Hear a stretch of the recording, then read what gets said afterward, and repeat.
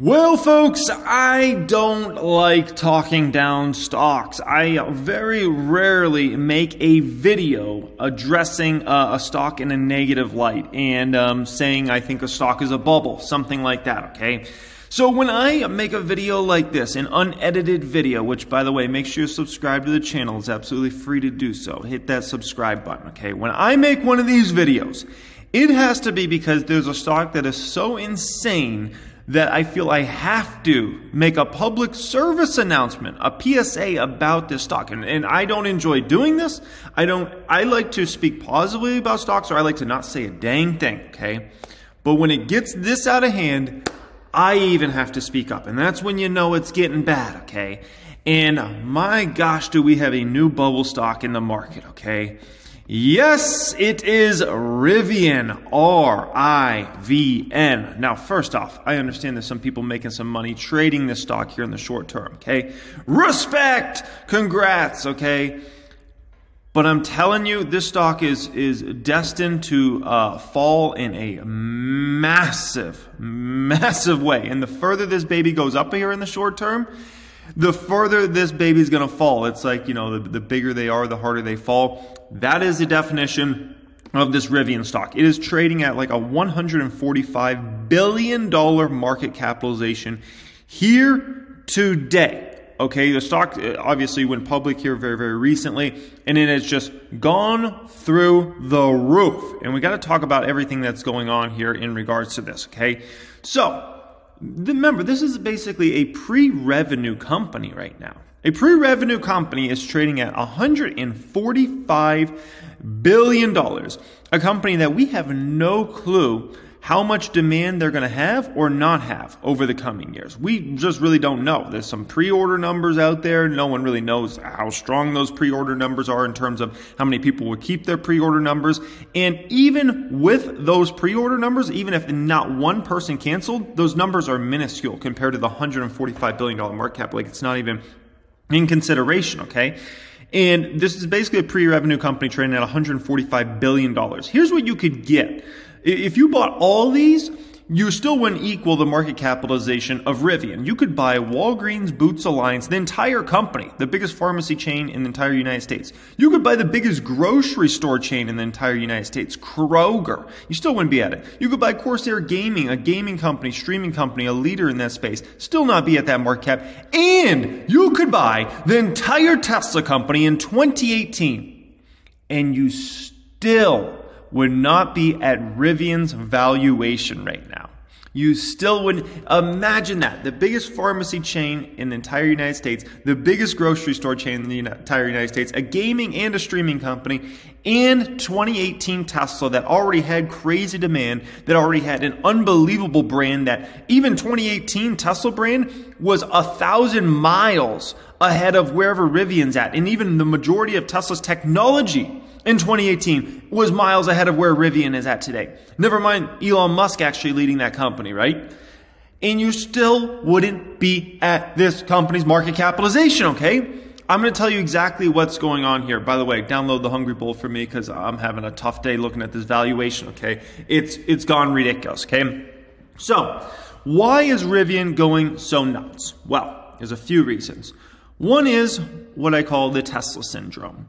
So if you are an EV maker, you're going to be Tesla apparently. Every company is treated as Tesla now, right? It's like, well, Rivian's only 150 billion. Well, it should be a, a trillion dollars like Tesla someday, right?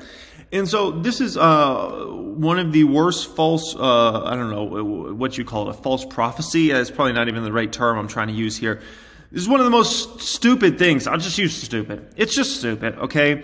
It's like me, uh, you know, I, I go to Chick fil A, okay? And I'm like, wow, look at that Chick fil A. The line is so long. Look at that drive through. It's like wrapping around the property. And I'm like, I'm going to open up a chicken restaurant here and I'm going to be just as busy. And it's like, no, no, no, you're not. You're not going to be as busy as Chick fil A. Are you mad? Are you out of your mind? Like, no, that's not the way this works, right?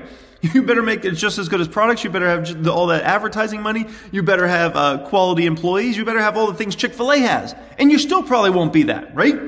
And so the fact that the Wall Street right now is just all over this hype stock, Rivian, it's like, oh, they're going to be the next Tesla. It's like, Okay, do they have Tesla brand? No, they don't, and they never will. Do they have Elon Musk? No, they don't, and they never will. Unless, I don't know, he sells all his Tesla stock and goes and runs Rivian or something like that. That ain't gonna happen, okay? Do they have the engineers Tesla has? No, they don't even have remotely close to. T- believe me, I know a lot of the Tesla engineers, and woo, those people are on a different level, and they could work for any company in the world, and they choose to work for Tesla. Okay, do they have the IP? No. Do they have like any of this stuff? No, they don't have. This is not Tesla. Okay, this is not Tesla, and yet Wall Street is treating like this, like, well, yeah, it, it's Tesla. It, it's Tesla. No, okay, and here's the issue when you're talking about doing big volumes of EV, there's only one company doing big volumes of EV, and it's this guy, Tesla, okay? Doesn't mean no one can get there over time, but here's the thing that makes Tesla much different. Well, there's a million things that makes Tesla much different, right? When it comes to good old Tesla Tesla, this is a, a company that is bringing down costs. So they're going to be able to sell to everyone in the world. They'll sell me my Model S Plaid, which is not in the garage right now, right? At 140,000 plus dollars. And they're going to be selling 25 to $30,000 cars within the next couple years, okay? Never mind, they already got, a, you know, a high 30s car in the market right now in the Model 3, right? and uh, you can get a Model Y for something in the 40s. So they're bringing down costs. Like everybody is going to be able to be Tesla's customer. Never mind when you look at the autonomous taxi network opportunity for Tesla over time in the fact that Tesla is probably going to be the number one player in autonomous taxi networks. And everybody is going to likely be, uh, you know, taking those around in the future, right? And so this is not Tesla. Rivian is not Tesla. Okay? Rivian can be its own company and its own cool thing, but it's a pre revenue company trading at nearly $150 billion. And that is what people don't understand. It's just out of control.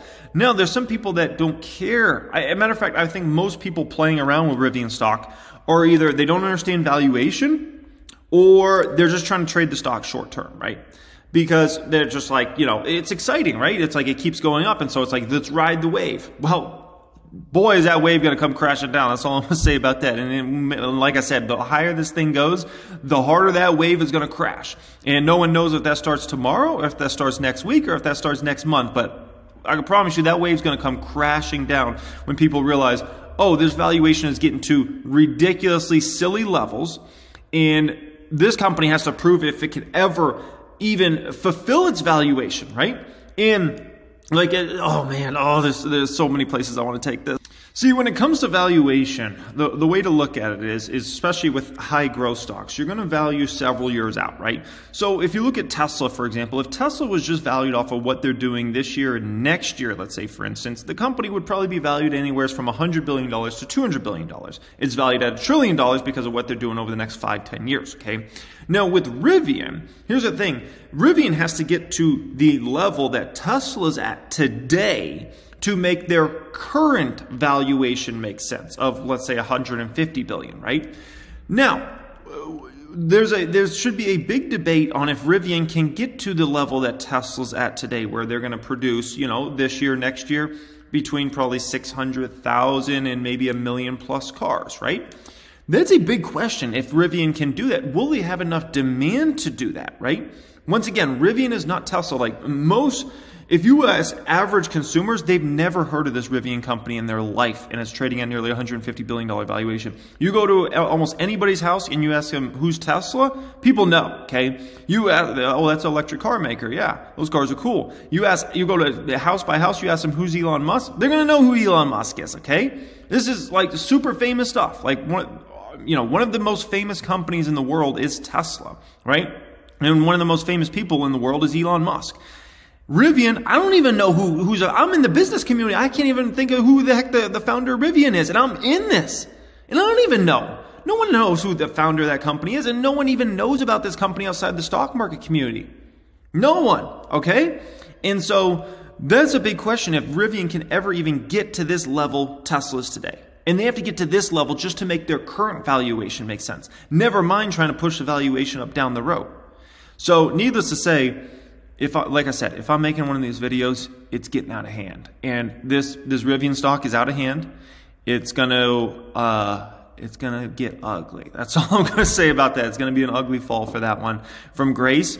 And uh, you know, Wall Street really doesn't care. They'll get out of it, you know, in time. It'll unfortunately be the retail investors that get slammed the worst, and then they're going to hope that it gets back to the valuation it's trading at in November, right now. Okay, you're going to have to hope for a long time that oh, I hope it gets back to that valuation someday, and maybe it does, maybe it just doesn't. Okay, right now, you know. Yeah, the risk reward's just not there. There's certain time periods when the risk reward is there with the stock, and it like it makes sense, right? And there's certain times when it's just like the risk reward's not there. And I tell you, the, the risk reward on Rivian, it's not there. It's not even close to being there. And so, yeah, that, I'll say my two cents about this uh, Rivian stock situation, and um, we'll see.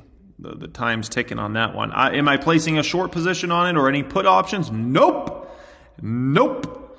I don't, I don't, uh, no, I have no plans to do that. I mean, maybe if it got too, too crazy, if it goes to 200 billion, man, that would be tempting. But no, I'm not going to do that because I can almost guarantee. Well, one, the problem is a lot of times when companies go public, it's hard to get your hands on options.